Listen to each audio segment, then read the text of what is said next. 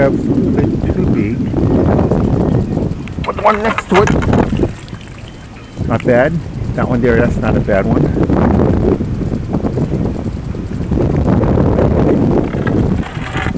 That one's not bad. Two.